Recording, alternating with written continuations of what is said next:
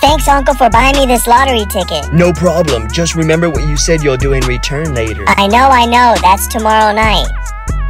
No way! I won the lottery! Hey, cutie! Girl, please!